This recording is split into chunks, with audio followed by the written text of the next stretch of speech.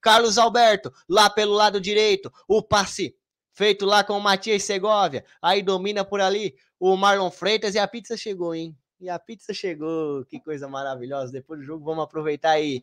Olha a bola tocada com o Vitor Cuesta. Voltando mais atrás, a bola para o time do, do Botafogo. Lucas Perry, a galera do Fogão lá. Tem gente sem camisa lá, né? Tem gente que aí já não tá sentindo mais nada, né? Porque tá frio lá e não tá sentindo mais nada.